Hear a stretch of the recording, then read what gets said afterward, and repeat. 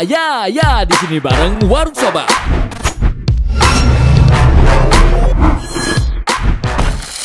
Halo sob, apa kabar ya? Baik-baik saja hari ini. Oke, semoga kita semua selalu dalam keadaan sehat dan juga dimurahkan rezekinya, digampangkan segala urusannya ya kan. Amin, sob.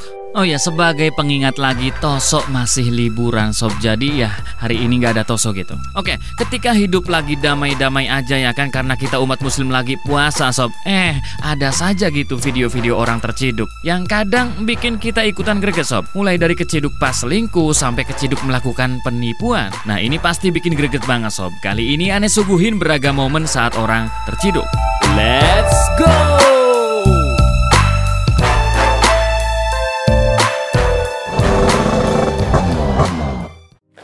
Kondangan. Yang namanya hidup kadang penuh dengan kejutan ya. Bisa tiba-tiba dapat rezeki Atau bisa juga ketiban apes di siang hari sob. Nah seorang bapak-bapak yang baru keluar dari kondangan Tiba-tiba dipepet oleh beberapa orang tak dikenal. Kira-kira apakah itu? Siapakah orang-orang tersebut gitu kan Yang beraninya mepet-mepet bapak itu? Nah awalnya bapak itu ngira kalau mereka adalah temen-temen gitu sob Atau kenalannya dari masa lalu. Tapi ternyata mereka semua adalah tim tangkap buronan dari Kejari Purworejo. Yes, usut punya usut Bapak Bapak Batik Ijo itu adalah ex dirut PDAU Kabupaten Purworejo Sob yang sudah buron selama dua bulanan. Jadi dipepet bukan karena pengen ngajak ngobrol sambil ngopi di warkop bukan Sob, tapi buat diajak ngobrol di kantor polisi di Polsek. Oke, pria bernama Didik Prasetya Adi itu sudah terbukti melakukan korupsi anggaran dana bos afirmasi tahun 2020 lalu sebanyak 600 jutaan. Korupsi ternyata ya. Tapi dia ini menangguhkan penahanan gitu dengan alasan sedang sakit. Cuman ya setelah ditunggu-tunggu sekian lama dia itu malah kabur sob. Dan terpantau lagi kondangan. Akhirnya terciduklah seperti yang kita tayangkan ini. Baiklah selamat mengobrol bapak. ETLE Siapa ini yang sering ngelawan arus lalu lintas sob? Mungkin puter balik gitu kan males ke sana kemari. Jadinya melawan arus sob. Awas ya, jangan pernah ngerasa aman karena di sekitar kita nggak ada polisi gitu yang jaga enggak sob. Karena mulai sekarang polisi sudah menggunakan ETLE atau tilang elektronik Yang bisa merekam pelanggaran pengendara tanpa kalian sadari sob. Nah ini contohnya sob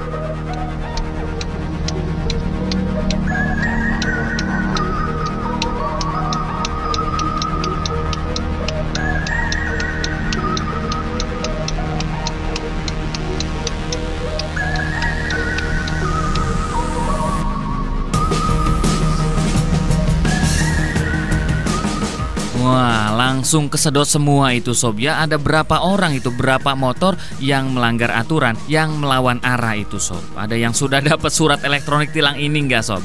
Ya, mungkin para pengendara itu ngiranya mobil polisi ini cuman mobil polisi biasa gitu kan wah cuma lewat gitu padahal ya itu sedang nilang sob tapi mesin ETLE-nya terus merekam plat nomor mereka pas sampai rumah seminggu kemudian waduh ada surat cinta dari pak polisi didenda 500 ribu ya kan dan ya, sepertinya ini lebih efektif sob. Nah, sobat-sobat awas ya, jangan pernah ada yang sembarangan ngelawan arus atau ngelawan arah gitu. Karena ya kita nggak ngira kalau misalkan pas sampai rumah beberapa hari kemudian dapat surat yang sama dari Pak Polisi. Jangan ya sobat ya. Organ tunggal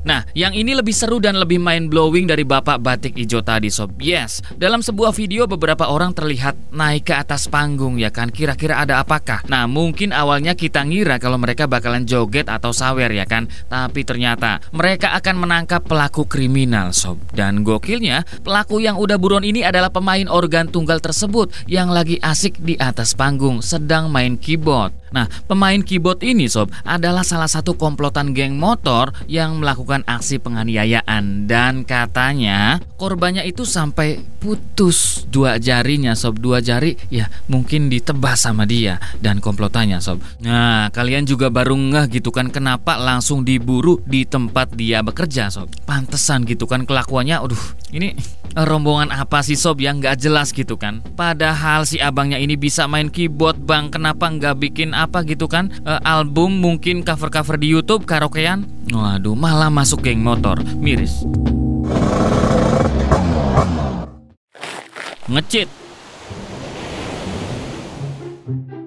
Bapak ibu guru pasti suka risih ya kalau ada murid yang main HP di kelas sob. Nah, daripada ngecek satu persatu siapa yang main HP di kelas, mending bapak ibu guru pakai cara yang satu ini. Kita lihat.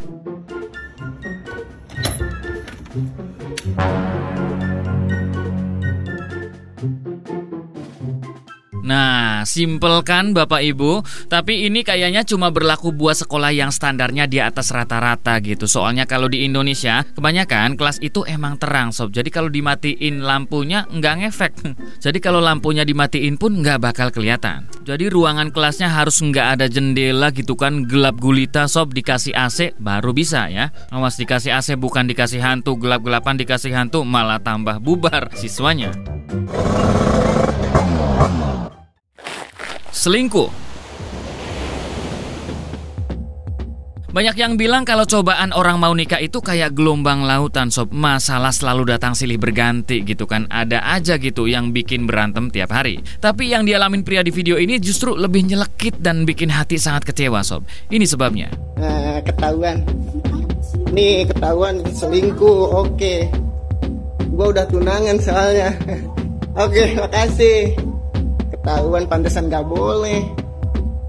Alhamdulillah ya Allah ketahuan juga Wah, digrebek di kosan so Padahal katanya udah tunangan itu Yang artinya udah saling mengikat dan berkomitmen buat ke jenjang pernikahan ya kan? Tapi si cewek malah selingkuh sob. Dan iya manusiawi kalau misalkan abang ini kecewa gitu kan. Tapi ya dibalik itu harus bersyukur gitu kan. Tuhan telah menunjukkan jalan yang benar bang. Bahwasanya tunangan abang itu orangnya tidak pantas untuk dilanjutkan. Lo gue N gitu kan Iseng mbak Seorang wanita merekam gerak-gerik pelaku bobol paksa yang lagi beraksi di rumahnya, sob. Nah, entah karena terlalu fokus atau was-was ada warga yang mergokin, si pelaku nggak sadar kalau pemilik rumah lagi ngeliatin aksinya.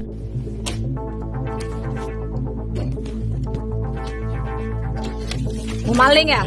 Maling,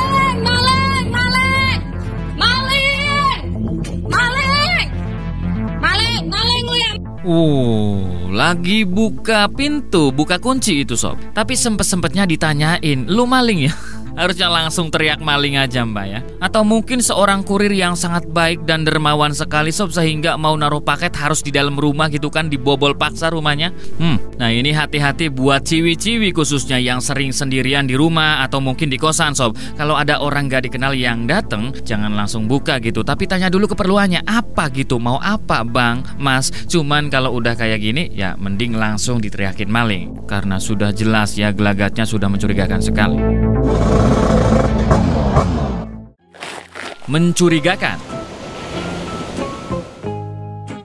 Ada yang suka overthinking kalau ngelihat pacar main HP jauh-jauhan sob. Tenang, tidak usah resah apalagi sampai overthinking ya. Karena saat ini ada HP yang bisa zoom maksimal sob. Bahkan bisa ngintip layar HP pacar kalian dari jarak yang cukup jauh. Kayak gini contohnya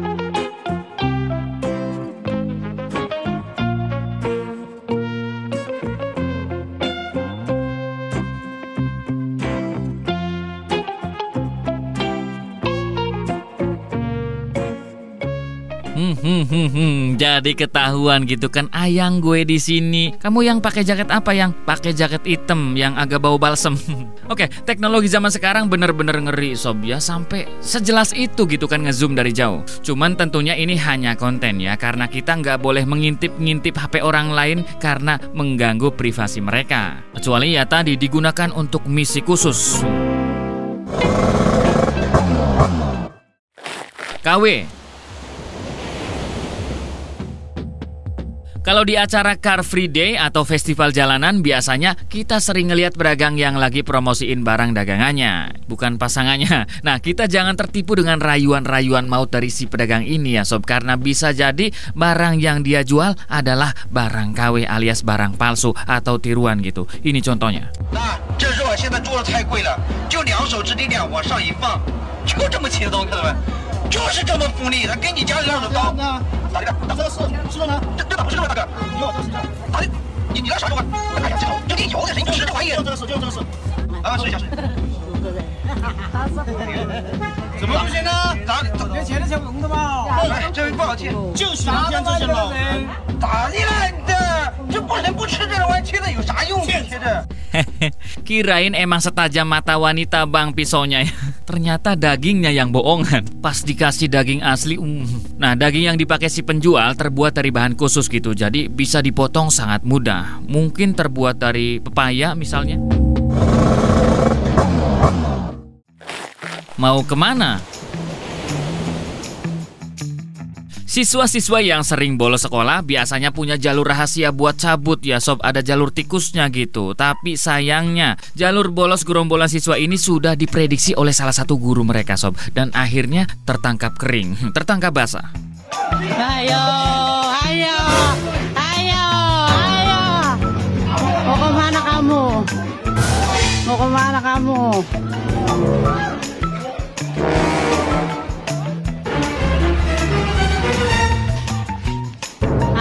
Udah ketangkep.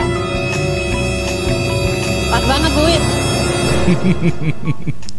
Cakram langsung kuat, ngerem semua sob.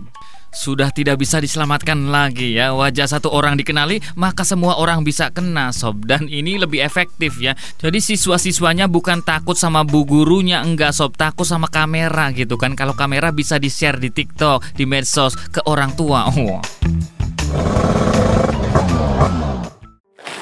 Selap-selip Karyawan minimarket dibikin greget dengan ulah salah satu customer yang sering bikin pendapatan toko jadi rugi sob. Nah, berbekal kamera CCTV dan pengawasan maksimal gitu, akhirnya pelaku berhasil terciduk.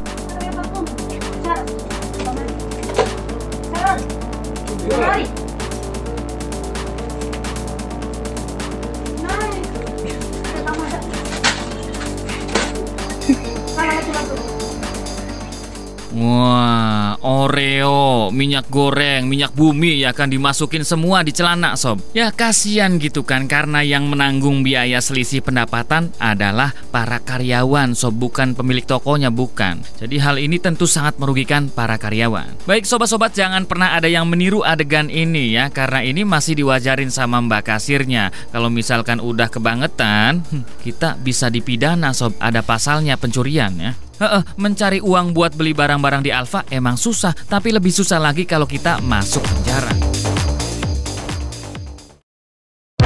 Nah gimana sob? Itulah beragam momen saat orang terciduk versi Warung Sobat. Agar kami lebih semangat silakan share video ini ke media sosial kalian. Terima kasih.